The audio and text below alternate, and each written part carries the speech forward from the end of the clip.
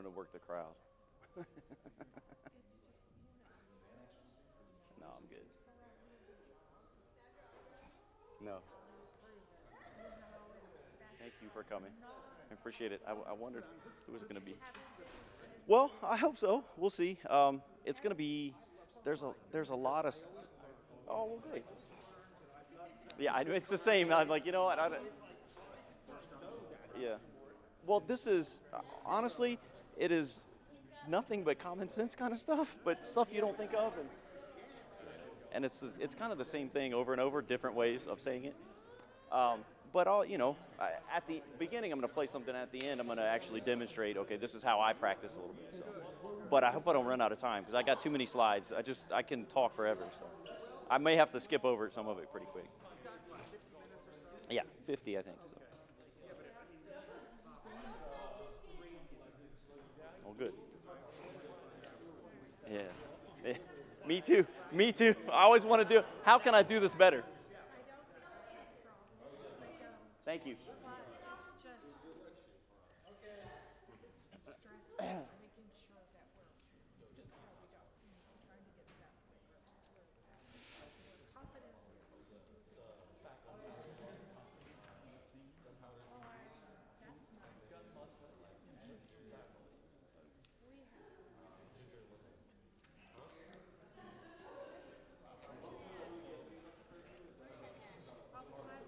Do what now? Well, the engraving.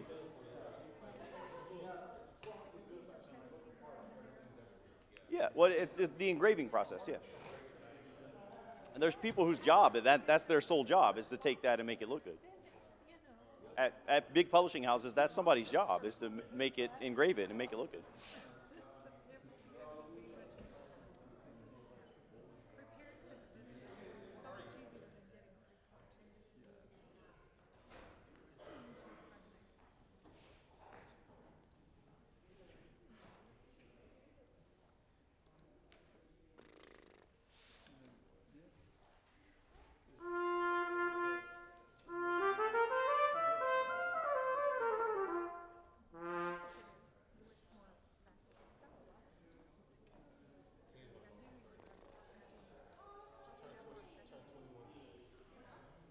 Where's, uh, didn't I see Conrad a minute ago? Oh, your hat's on the, uh, by the timpani. Well, you don't need to get it now, unless you want it, but it was up here, and I put it by the timpani.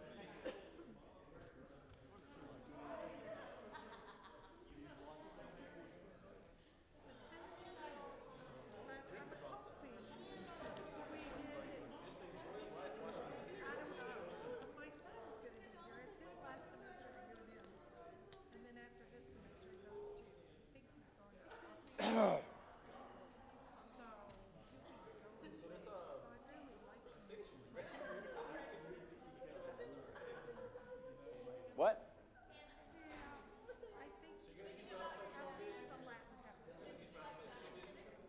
I can't hear you.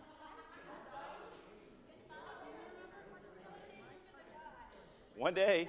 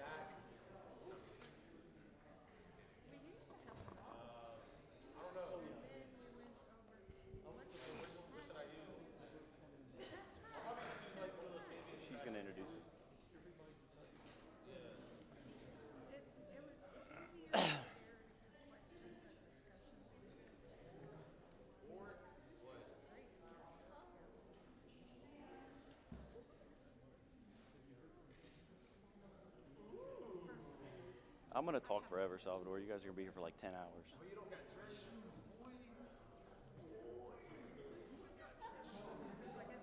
I'm gonna try to do it as quick as I can. Some of it I'm gonna actually skip because it's in your handouts.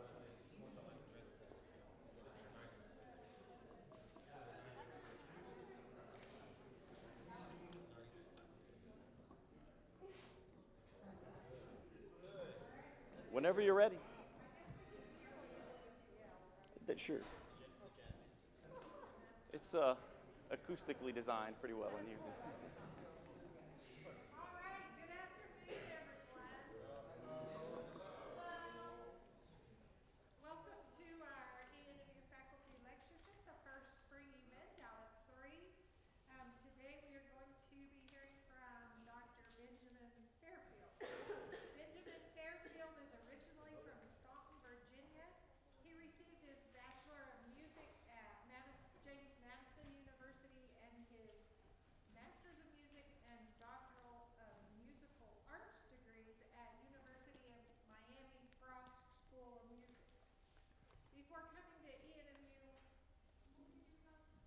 Uh, 2013. This is my fourth year.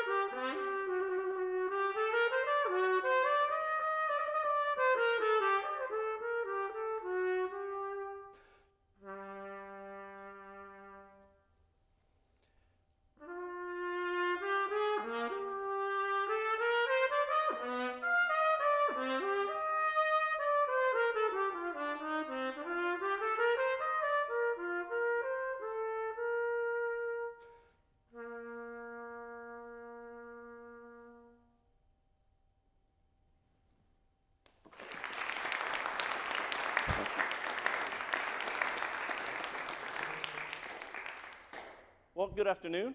Uh, thank you. As she said, uh, my name is Ben Fairfield. I teach trumpet, and I am the assistant director of bands here. Most of you uh, I'm familiar with.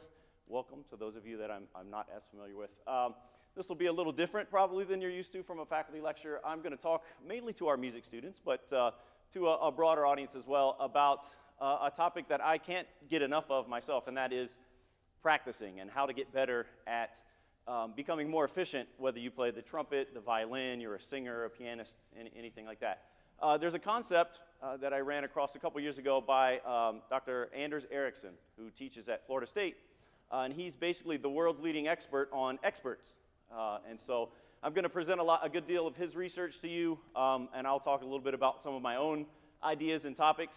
Um, but I'm going to get started. Uh, I do two things I do music and I do sports. So I'm going to have an athlete introduce my topic about practice.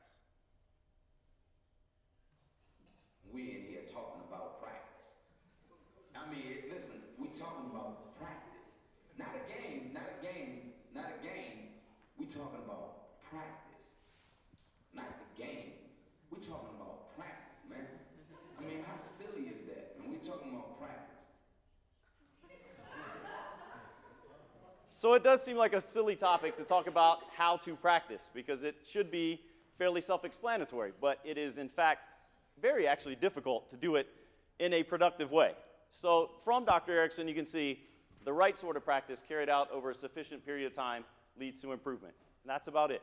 The right sort of practice. So what is the right sort of practice? Hopefully I'll shed a little bit of light on that today. Every day, guys, every single day. You have to practice every day. Every day. How many days, Salvador? Every day. From uh, different resources here, uh, the habits of success are forged in practice. That's very true.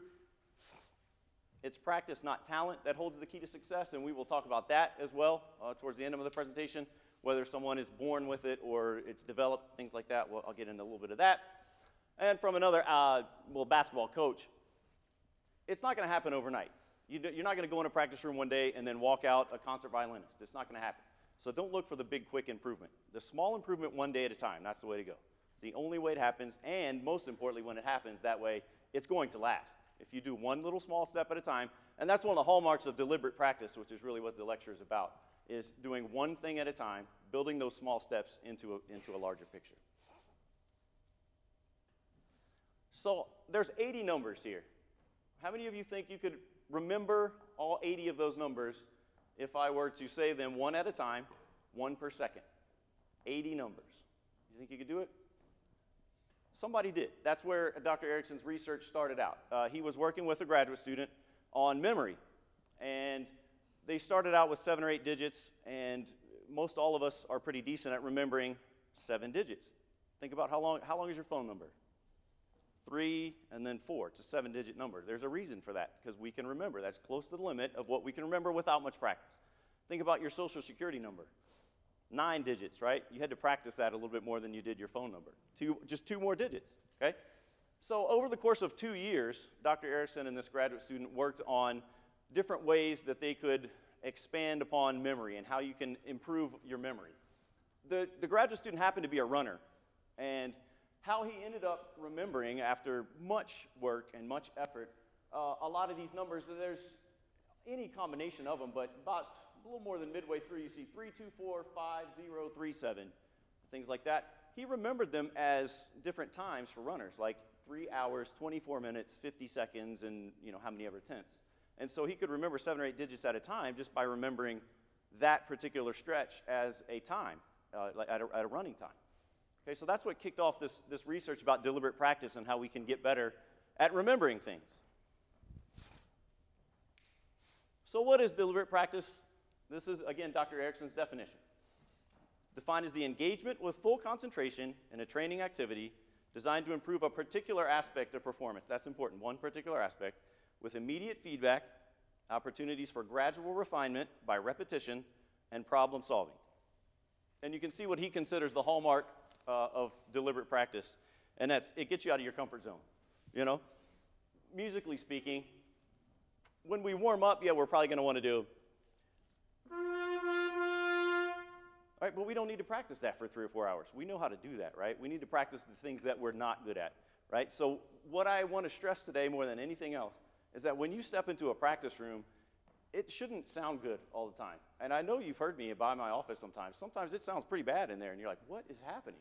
I'm practicing, I'm figuring out how's this going to work? How's this going to, you know, it's not, it's not supposed to be a performance, and it's not supposed to be fun all the time, right? You have to get out of your comfort zone and focus on one thing at a time. So here I've defined that a little more uh, user friendly, I guess, in the parentheses. The engagement, right, is defined as the engagement, which implies some kind of emotional involvement or commitment. You have to want to do this. You have to be involved and engaged in what you're doing. With full concentration, of course, you have to be paying attention to what you're doing when you practice. Right? In a training activity, and this one's important, a planned undertaking that improves performance, something that is prepared in advance. Prepared in advance is the key there to teach a specific ability. It's not when you go in the practice room, you have to have an idea of what you want to do. You can't go in and say, Well, I wonder what I'm going to do today. You need to write that out and map that out starting before you even start that practice session. We can get into that a little bit more, but a, a training activity is prepared in advance. That's the important key there.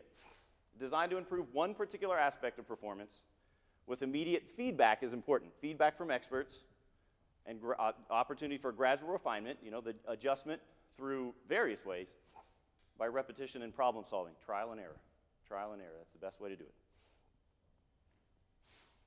So, the first part of deliberate practice well designed specific goals, which we'll talk about, often improves some aspect of the target performance. It's not, I'm going to go in this practice room and get better today. It's, I'm going to go in this practice room and I'm going to work on the articulation or range or scales or any number of things. But it is one particular aspect at a time.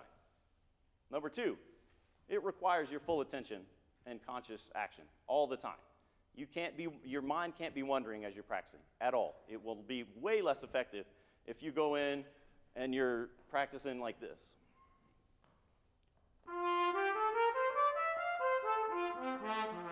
Right? Fine. I'm still getting it on my face, but I'm not paying attention at all to what I'm doing. So you really have to pay close attention, and we'll talk about that too. That seems like common sense, but it's not always the case. Number three, deliberate practice involves feedback and importantly, modification of those efforts in response to that feedback. You need to get some feedback. You need other ears on the other side of your instrument or your voice to tell you exactly what it sounds like. Because what we hear on this side sometimes isn't what always gets out into our audience. So you need that feedback constantly uh, to, to tell you what's going on, to tell you what it actually sounds like. Number four of five, again, it's outside of your comfort zone. Constantly try things that are just beyond your reach. You know, if you try to play a piece that maybe only one or two people in the world can play, and you're a sophomore at ENMU, it's probably not going to happen, right? But if you try to do something that's just beyond your reach, then you can expand your reach and expand your reach, and in three or four or five years, then you can approach that other piece. And the last thing, it focuses solely on performance and how to improve it. It's not concerned with the knowledge you have at all. You do want that knowledge base, you need the theory and the history and all of that knowledge base, but deliberate practice is focused solely on does it sound good or not? Does it sound good or not? Quick way to look at it you focus on what you're doing, you get some feedback on what you're doing, and then you fix whatever issue you need to fix. So focus, feedback, and then fix it. Again, from Dr. Ericsson, a, a series of specialized skills performing is.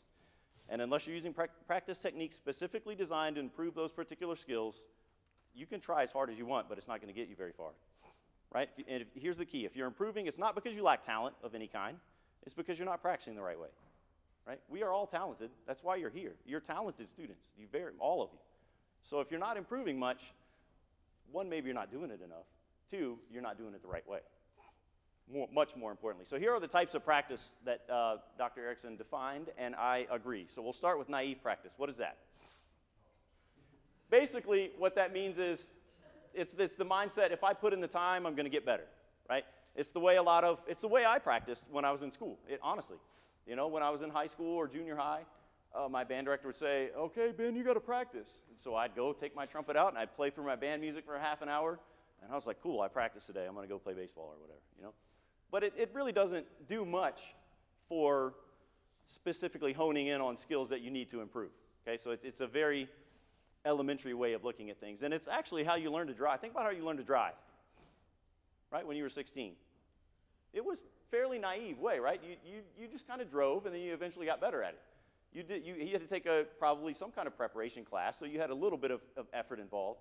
But basically, we get behind the wheel with somebody, uh, we get a learner's permit, somebody's there to give us a little bit of feedback, but we kind of just have to figure it out over a process of a few years.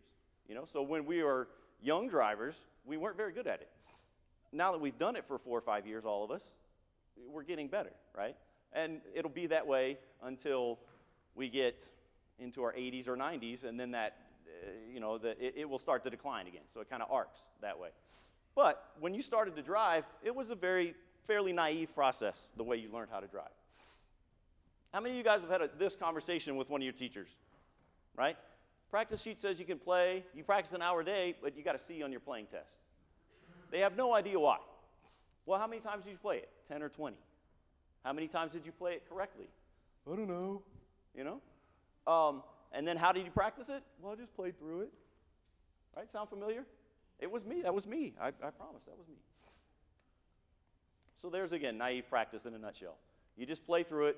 Sports analogy: you swing the bat and try to hit the ball with no effort. You just swing the bat and hope for the best.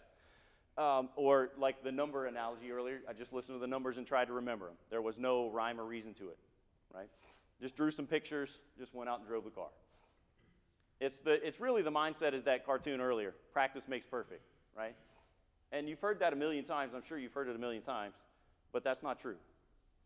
Practice makes permanent, right?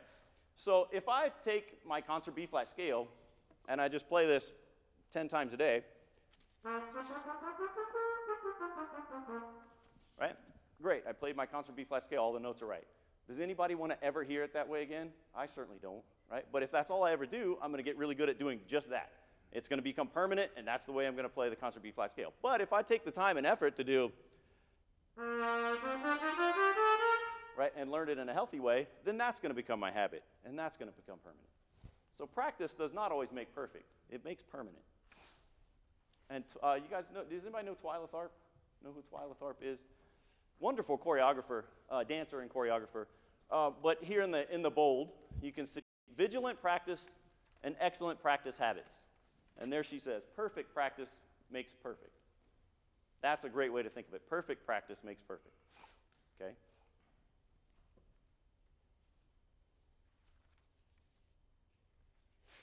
I'm going to go quickly through this one. The top one, most important, that's my thoughts there.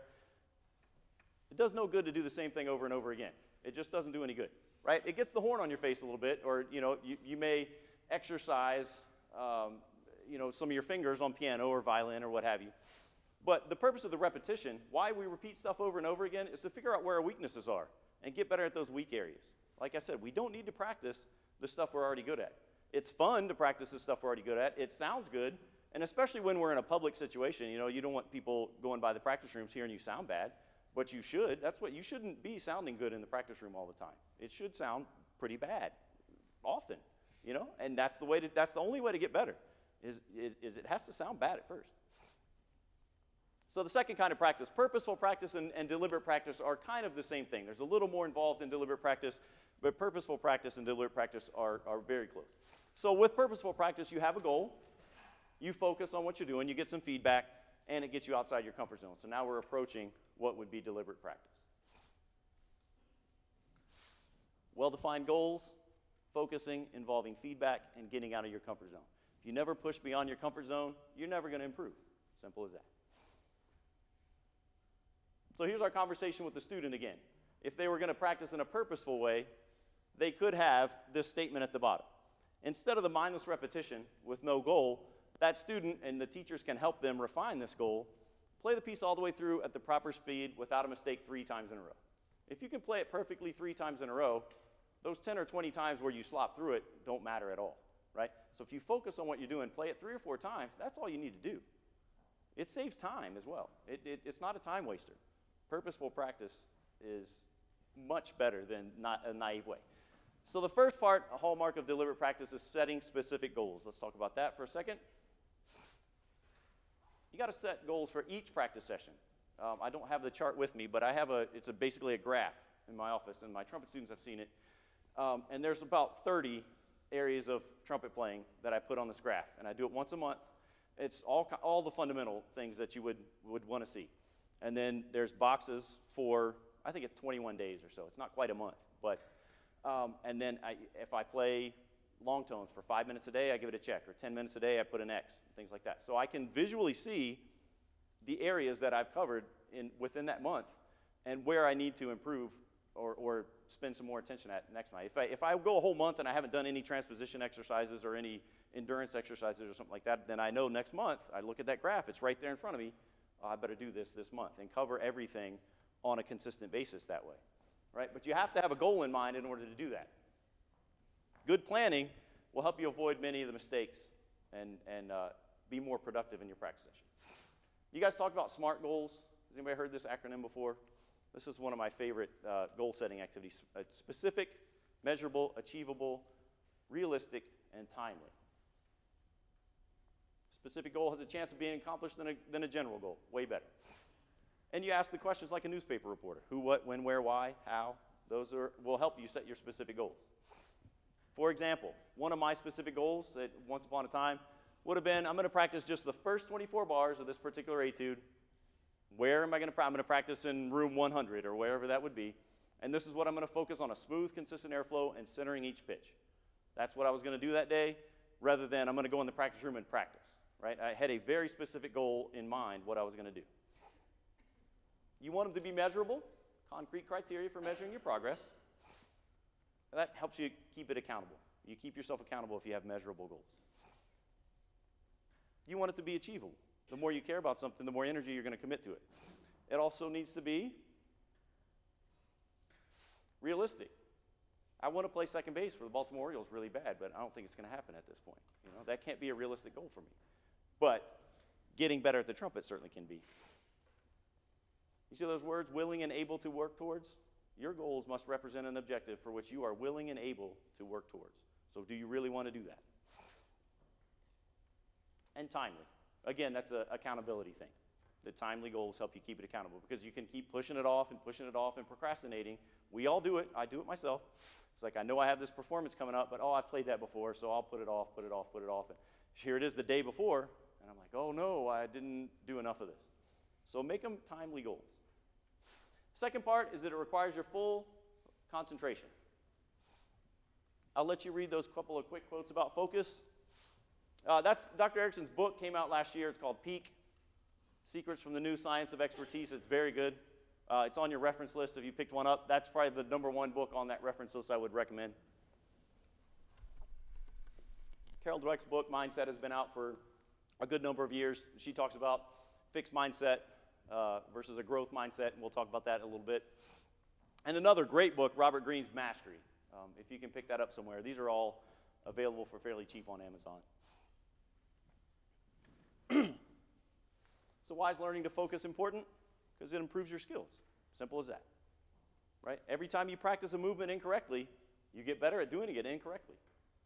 It's very simple. Right? It doesn't matter how many hours you're practicing, but if you're not paying attention and focusing on what you're doing, you're not going to get much better. There's something called neuroplasticity, right? Basically, this is our brain's ability to change and adapt. It requires us to pay attention when we, when we practice. Why is that important for our musicians? Right, when we practice, when practice occurs when we're focusing elsewhere, we're not hardwiring our brains correctly, okay? It's like, and I, Salvador, I'm sure you've, I've done this with you before. It's like if I wanted to pick up this piece of music on the stand, right? I don't need to know everything about which muscles and nerves and, and these things pick that up. I just know I need to pick this up and move it somewhere else, right? Same thing when I play trumpet. I don't want to think about exactly what I'm doing. I just want to take a breath and, right? I don't care what happens inside my body when I do that. I just want it to sound good. And so that's what I focus on. But if we do it the wrong way, then this, this process isn't going to wire our brains correctly, our neural pathways correctly. Second part of that is myelination. That goes along with that. The, the important thing here for musicians why does high level skill take so much time and steady effort to develop? Because this process of myelination, which is basically um, forming a sheath around our nerves, right? And the more time and energy we spend to a certain activity, the thicker that myelin sheath becomes around that nerve. And so the quicker uh, the, the neural pathway forms, and it just travels. It's like a superhighway. So it's like insulation for our nerves, myelin is, right? And the more we do something over and over again, that's what we need to do in order to become experts at whatever it is that we're trying to do. Okay? So there are scientific processes behind this deliberate practice as well.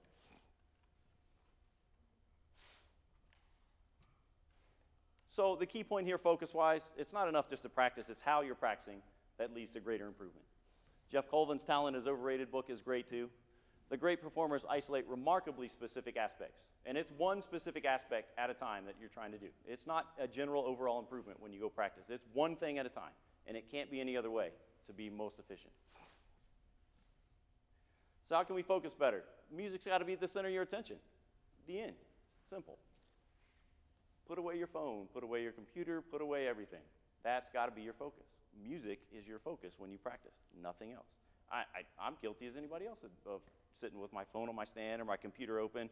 Or just last night, I was watching a, a live stream of a trumpet lesson while I was practicing myself. And I didn't get either one of them very, like I wasn't practicing very effectively, and I had no idea what this guy was talking about on my computer, you know? So just one thing at a time. How many of you are good at multitasking? Liar. Elijah. Everybody says, Oh, I'm really good at multitasking. I can do 14 things at once. Well, no, humanly, we can't, we, we don't do that. We, we focus on one, our brain focuses on one thing at a time, period. It's impossible for us to focus on more than one thing at a time. So, what do we do when we're multitasking? We quickly shift our attention from one thing to another. It's not that we're focusing on three things at once, it's quick snapshots of three different things that keep circling over and over. So it is impossible. I kind of tricked into that, sorry. Um, it's impossible to multitask, okay? So don't try it. Don't try it, when you, especially when you practice. One thing at a time. Short bursts, that's important too. You got to take breaks, uh, especially as wind musicians, brass musicians, especially important. Uh, we can do some damage to our muscle structure. It's, it's exactly like when you practice, it's exactly like lifting weights or working out right? And so when athletes go to lift weights, they don't just like st- sit there for an hour and, you know, it's like, okay, I'm going to do a set and then I'm going to rest and then rest. The rest is just as important as the practice. It really is. So work very intensely in short bursts and then take a little break. Then go back at it, right? It's not, you can't play trumpet for three hours in a row. It is impossible. And even if you could, by that hour, first hour, it would be so unproductive, it wouldn't be worth it. If you run into any problems, you got to go back to your fundamentals. Simple as that. Third thing feedback from experts. I need to go a little quicker here. So, why is it important to receive the feedback? Anybody know?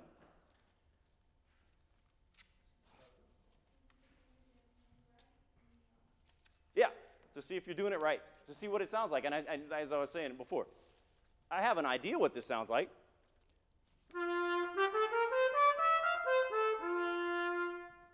but I don't know exactly what it sounds like sitting out in the audience. I don't know what you guys hear. I have an idea what you hear, but I don't know exactly what it is. I want to know exactly what it is because, say, I was in an orchestra and you just paid 100 bucks a ticket to hear me play something. It better be pretty good, right? So, I, you know, you, you can receive feedback from yourself, believe it or not. What the number one way to listen to what you sound like, if you, okay, so we have lessons for an hour a week, right? You can't come to me six hours a day. We, neither one of us have time, right? So I can't give you feedback for six hours a day. But every one of you with a smartphone has a recorder on that phone. And you can certainly, now that I told you not to put your phone on your stand, you can record yourself on your phone. You can record yourself a lot when you practice. The, the uh, Zoom H4 is a great tool for that. Uh, there's microphones that I plug into my laptop, uh, and I'll come in here frequently and I'll set a microphone right about here, and I'll record excerpts and see what they sound like if I'm preparing for a recital. I want to know what it sounds like on the other side of the bell, and I want to know often so I can adjust what I'm doing. So even if you don't have a teacher or an expert there, you can give yourself feedback by recording yourself. The trick to that is it's great to record yourself, but then you have to listen to it. You really have to listen to it. Pretty often I'll record myself and I'm like, I don't want to hear that. This, I know it was bad. so when you learn from experts, you got to ask yourself some questions too, right? You can't just go get feedback from anybody off the street. You want to know what makes them an expert. You want to know how they sound on your instrument or your voice. How do they? You want to know how they practice. What habits do they possess? then you want to imitate that. You want to copy that sound. And as your practice, ask yourself this question Is your practice designed to develop the particular skills that you need that the experts in your field have? And if it's not, then you need to reevaluate how you're practicing. Fourth thing, you got to get outside your comfort zone at maximal effort. That's kind of what maximal effort would look like, I think. Importantly, here's the bottom. If you never push yourself beyond your comfort zone, you're never going to improve. Right? Full concentration. Dr. Ericsson there again at the bottom. If your mind is wandering or you're relaxed or just having fun, you're probably not going to improve.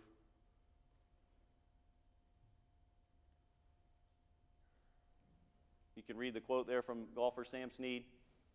It's human nature to practice what you can already do well, and I mentioned this earlier. We all we practice what we what we're good at because we sound good at it, and we don't want to embarrass ourselves in front of other people. And it's human, you know. All of us are like that. But what you need to do is get outside your comfort zone. Right? How much you're willing to pay for success? Right there at the end of that quote. How much are you willing to pay? So here's a little graph of where you need to practice. That learning zone in the center, that we already know pretty much everything in that little center zone. That's our comfort zone. Then the learning zone, the next one, that's where you want to spend your time, just outside your comfort zone, and expand it and expand it and expand it, right? Because on the outer edges of the circle is the panic zone. We can't really learn much in there. That's beyond our capability at this time, okay? We want to expand that middle area and get it that full length of the circle so then we eventually don't have a panic zone when we play or sing. But what you want to spend your time on is the things that are just right outside your comfort zone. This one I got from uh, Principal Trumpet in the LA Philharmonic. This is a little better graph than mine. That's the things we've mastered. The edge is where we want to focus. You want to focus there, right on that edge. Because we can kind of play the things in the gray area, but anything outside of that, we, we don't have a shot at right now. Right? So you want to spend your time at things that are just beyond your capability. You can't be afraid to fail.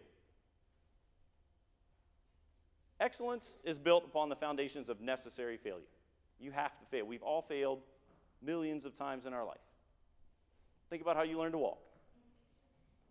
How did you learn to walk? First, you had to like figure out how to roll over, right? And then you had to figure out how to get up on your knees and crawl around a little bit. You got had to figure out your balance. Well, did you just stand up the first time you tried to stand up and like just start walking around? No, of course not. You fell over and over and over and the important part of that is babies don't care. They don't care they fall at all. There's no judgment. They just get up and try it again, right? So we get to be adults or teenagers, and then we start caring about, oh, I don't want to fail in front of my friends. You got to think more like a baby. The babies could care less if they fall. You know, they cry for a minute because it's kind of a shock reaction, but they're not crying because, oh, I failed I can't walk, you know? Like, the same thing when you learn to speak. You didn't just come out of the womb spouting out words in whatever language it is, right? How did you learn how to speak? You had an example, number one, you imitated what you heard around you. And then you messed it up millions of times. And then you finally figured out how to say whatever it is that you wanted to say. So you failed, we all of us did, millions of times when we were kids, and we, could, we didn't care. That's how we learned. This one I'll go quick to. Um, they did a study of Olympic skaters in the 80s. And what they found is here at the bottom. Top skaters fall more often during their training sessions than other skaters. Why is that? Because they attempt jumps that the other ones don't want to attempt. It's simple, right? The top skaters, including this 2006 gold medal winner, fell down something like 20,000 times in her career, skating career. 20,000 times she fell on the ice. The ice is hard and cold, but she didn't care. Why did she do that? She didn't interpret falling down as failure, same as a baby. That wasn't failure, that was an, a learning opportunity for her. So she got better the next time. 20,000 times you fail at something, you're going to learn what to do and what not to do by that time, right? She won a gold medal. So trying to do things that you can't do on your instrument or uh, vocally piano, strings, whatever it is. Trying to do that and failing is what you need to do. That's the way experts practice. They're not afraid to fail. And I promise you, you can come by my office anytime, and it sounds terrible. It's usually late at night, but it's pretty bad in there sometimes. the last thing is building mental representations. So, expert performers have required refined mental representations that maintain access to relevant information about that situation. Right? The main purpose of deliberate practice is to develop these mental representations. Think about when you read a book. I'm not going to read this whole slide to you, but we're able to read a three, four thousand page book and remember the narrative pretty well, right? So you can train yourself to read music that same way. It doesn't have to be C, D, E, F, G. You, don't, you won't look at one note at a time. When you read a book, you certainly don't read the words B U I L D I N G, right? You say building, right? And, and you look at it like that. You can learn to read music that way too. And you should learn to read music that way as you read a book, right? There are phrases, paragraphs. Music is the exact same as reading a book. But when we look at a sheet of music, a lot of times we just see individual notes, and we need to get away from that. In music, we want to build our aural representations. Uh, one of my teachers, Phil Smith, was principal trumpet in the New York Philharmonic for a long time, just retired, uh, and he called it cultivating his inner Gabriel. Okay, um, and he wanted to cultivate his inner Gabriel every day. So neurocognitive efficiency, what is that? Um, really, the bottom, the ability to make smarter, faster decisions. We want to build our mental representations in such a way that we look at a sheet of music and we're able to quickly and smartly see what we're looking at so we can play that or sing that as we as we make music right? Neuro relating to the nervous system of course right? Cognitive the act of knowing or perceiving and efficiency. You know what efficiency is. The ability to accomplish something with the least waste of time and effort right? And here I, since i'm talking about eyes and the way we see music most of our sensory receptors are in our eyes. 130 million in each eye. That's a lot of sensory receptors, okay? So we're able to process all of this, uh, our brains are, every day, but we throw most of that information away. But what the best musicians or athletes or whatever discipline it is, uh, what they're able to do better than us is they're able to process their visual information quickly and more in depth. And so then they, they don't have to waste mental energy thinking about what is this, what is this. They just take a snapshot of it and they know what it is and how to do it immediately. Okay?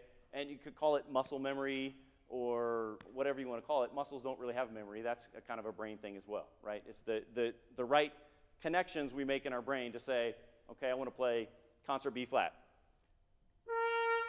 Right? I don't want to have to think about that too hard. I just want to take a breath and go. And most of that comes from my inner Gabriel, my aural representation. I have an ideal sound, what I want this to sound like. I never ever get even remotely close to what my ideal sound is, but it's very specific. I have, this is what I want to sound like. I never get there, but I get close, okay? It's exactly like having a goal. If you don't have a goal, you wander all over the place before you eventually get where you're going, right? But if you have that sound in mind, boom, you, can, you know what it is. You know what your measuring stick is, and it's easier to do that. There's a phrase by Arnold Jacobs, was a tubist and a, a famous brass teacher, called it paralysis by analysis. And this has to do it, with really what I was just saying. I don't want to think too hard about what I'm doing when I do it. I just want to know what it sounds like and play that. Paralysis by analysis. So don't think too hard when you play. You want to do your thinking before you practice when you're planning out your practice session. When you practice, you just want to do it. Nike's got it right. Just do it. That's a great slogan. For example, two mental representations. Um, Roger Bannister broke the four minute mile in 1954. It took from the beginning of man until 1954 for somebody to run a mile in under four minutes. In the next two years, 50 other people went under four minutes. 50 in two years. Why? Because they knew it was possible. It wasn't because, and all of a sudden, between 1955 and 56, everybody got bigger, stronger, and faster. They said, well, that guy can do it, so I'm going to do it, right? It's a mental representation. And this one, I want you to take a little time and read. This one blows my mind that these people were able to endure what they were able to endure.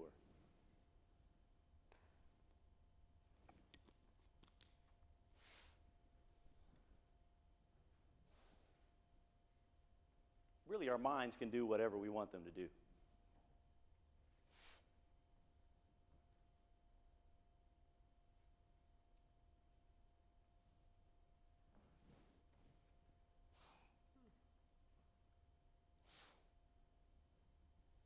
So they ran out of morphine and they shot salt water in people's veins. They told them it was morphine. And those soldiers, those wounded soldiers, were able to endure the horror of being cut open with nothing but salt water running through their veins.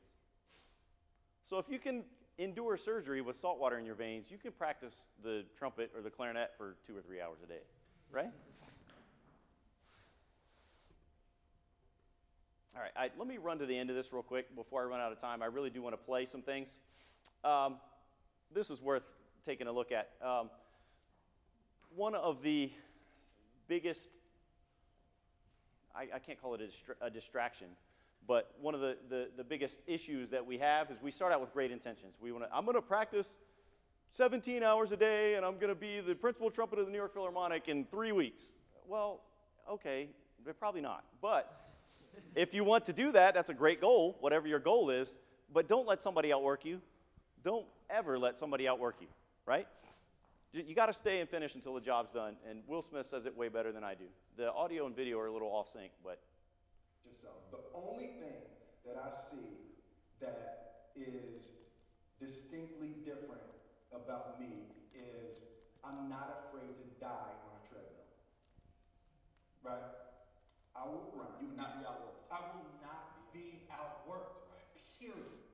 You know, you might have more talent than me. you might be smarter than me. You might be sexier than me. You might be all of those things. You got it on me in nine categories. But if we get on the treadmill together, right? There's two things. You're getting off first, or I'm going to die. It's really that simple. It is. Those people with the jobs that you want, they have those jobs for a reason because they didn't let anybody outwork them. They worked very smart and very hard at what they were doing. They had an idea of what they wanted to do. They were committed. Either you do it or you don't. It's really exactly like Will Smith said. It's that simple. Either you do it or you don't. There is no in between. Uh, these practicing things are on your handouts, so I'm going to skip these. I, I really want to show you uh, what it looks like more than anything else. And at, at any point, if somebody has questions, feel free to just shout at me. These are all in your handouts. I'll come back to fixing the growth mindset if I have time. Actually, let's talk about this real quick. I, I could talk about this for days, so shut me up when it's time to shut up. Um, but um, talent, you're not born with talent. Some people are more adept at others than doing things one way or the other. But, and, and, and every, every time I talk about music and somebody's born with talent, somebody always says, well, what about Mozart? Well, what about Mozart? Let's take a look at Mozart's background for a minute. Everybody thinks that Mozart is this child prodigy, which he was. But Mozart's father was a fantastic musician, composer, violinist, played the piano a little bit. Okay, so he was born into a musical family, born into a good situation. And has, has anybody ever gone to a concert and heard Mozart's Symphony Number no. One or Two or Ten? I doubt it, because they're not very good. They're really not very good. Okay, it, it took him probably 20 or 30 tries at writing a symphony before he became Mozart.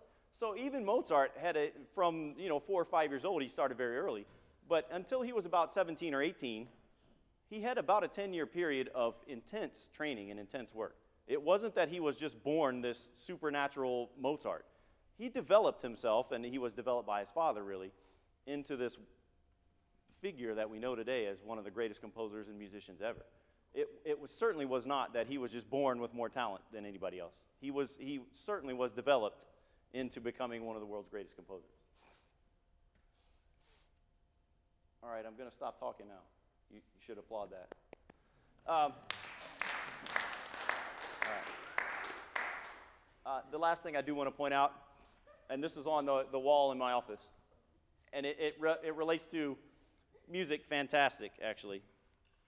Under pressure, basically on the lights of the stage, when you're playing a concert, you're not going to rise to the occasion. You're just not. You're going to sink to the level you're training. So that's why you should train. So that's why you practice so hard. Is because when those lights come on and you have 3,000 people in Carnegie Hall staring at you that paid 100 bucks to hear you play, you're not going to rise to that occasion. You're going to be nervous. You're going to sink to the level that you train to. So why not train harder than everybody else? And you know it's going to sound good. So most people don't write music this way or look at music this way, but this is an actual piece from the Arban's book. It's also a, a, I play more vocal music than anything else. I really do. I want to play trumpet. If so, if I played a recital and somebody said to me, "I forgot you were playing trumpet. I, it, you reminded me of a singer," I think that'd be the best compliment I could ever get. Um, because brass players aren't very smart, really. You know, like we we think about things differently than other musicians because of the complexities of playing the instrument. We generally will play things uh, unmusically, basically. So what I do here when I practice this way is I, these are little sub phrases. Every bracket is a phrase, okay? So when I play, I'll play that first line or so. And I want to connect everything like this. Pulling to the downbeat. Everything is pulling to the downbeat. The, the magic of music and phrasing is, is the upbeats. It really is the upbeats. The downbeats are going to take care of themselves. But if you pay attention to these upbeats, and that's what I'm trying to do with these brackets, it's going to sound very musical.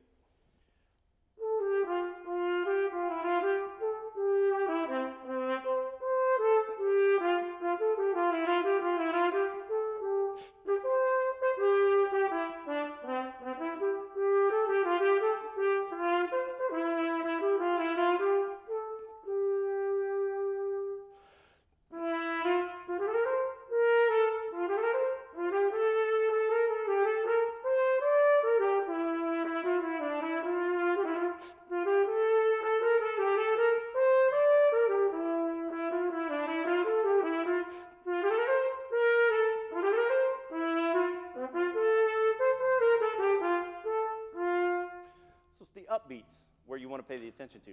That's what the brackets are. It's bracketed starting. Every time that there's a bracket, it starts on an upbeat. And I want to pull it to the next downbeat every single time. Does that make sense? Right? So when I practice this, if I were going to practice this to play it in a recital, I would spend probably a, a week or two just playing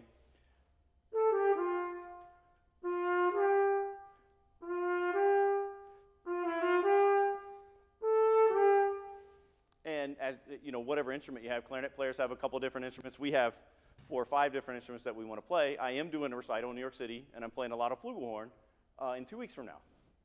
And so every single day, I pull out a different piece of music, and I'll put these brackets on them, and I'll play each instrument that I'm playing for the recital.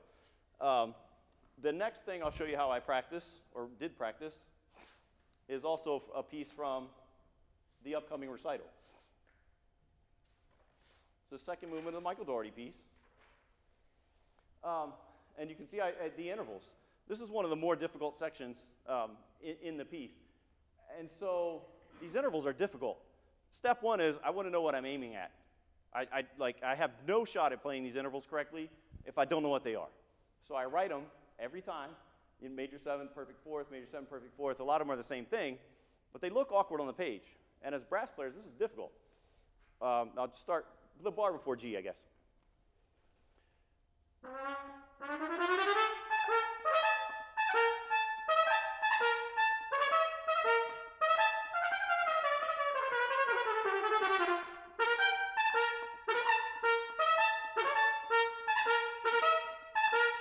So each one of those intervals, you really want to know what it is before you start shooting blindly. The other thing is, does anybody see the movie The Patriot with Mel Gibson? Um, you remember what he told his sons when they were learning to shoot guns? There was a particular phrase. Aim small, miss small. Who said that? There you go. Yeah. Um, as a, as a brass player, my, my biggest issue with this is I tried to play too loud, I tried to play too fast. So if I can tell myself, aim small, miss small on these large intervals like that, then I have a better chance at it. Like if I back off and not try to blow the walls down, it makes it a whole lot easier.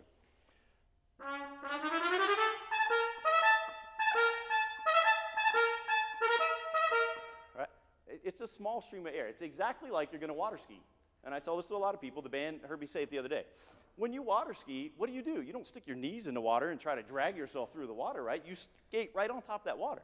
And so, what I want my airstream to do there is just flow and skate right on top of that water. And so, uh, all this deliberate practice that I was talking about, that's my goal.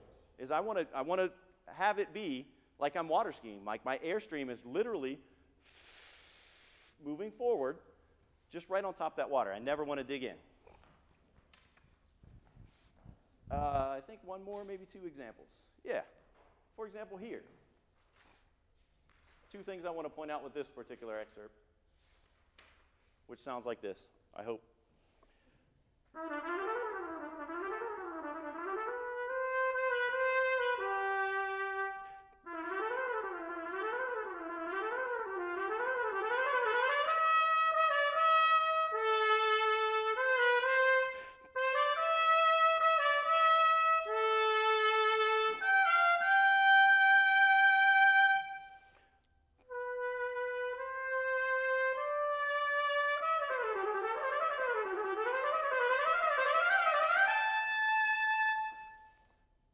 There's different ways that I would approach this too, practice-wise. Um, and you see my brackets at the beginning there. And what I do every time I start this excerpt is I'll start.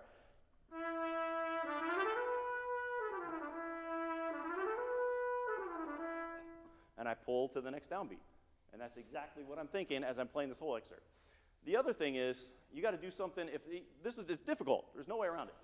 So to make that less difficult, I want to invent something or go to a, a, method book that's more difficult than what that is. Um, and for me, it's this exercise. That uh, has anybody ever watched Mr. Rogers' Neighborhood? Remember the Neighborhood of Make Believe theme? It, every time I play this particular, uh, it's a Herbert L. Clarke study number four, but it, it sounds like the trolley every time.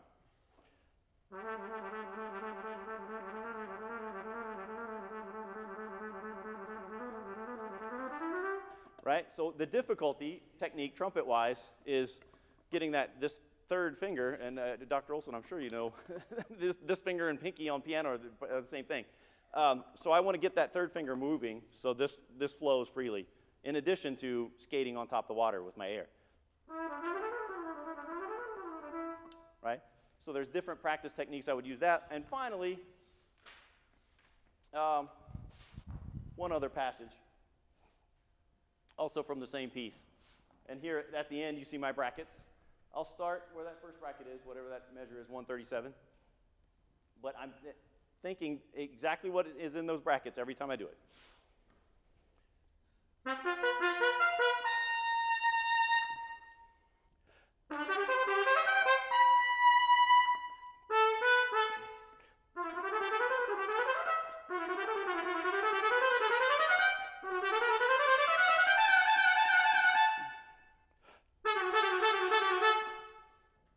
Those sixteenths,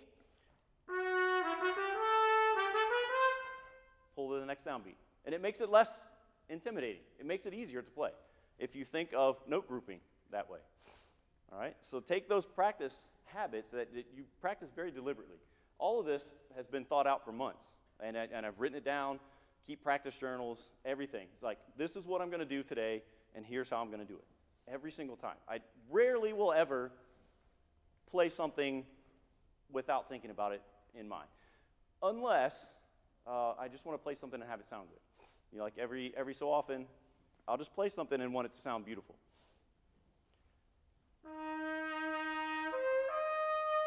Right? Not beautiful.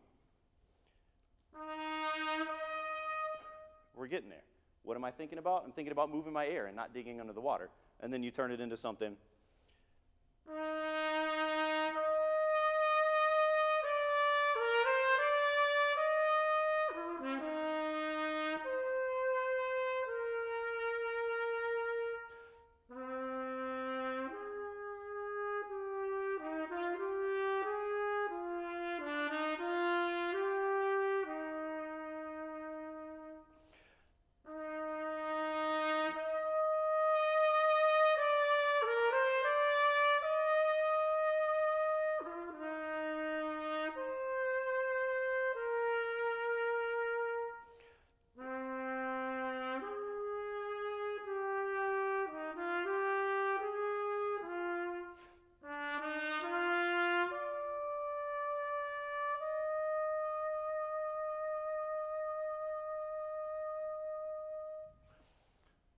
Take something and make it sound beautiful, whether you, whether you were planning on doing that or not.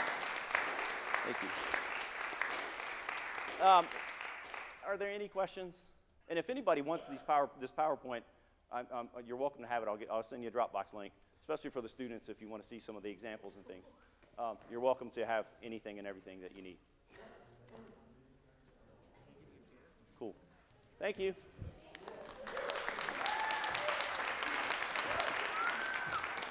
It went a little long.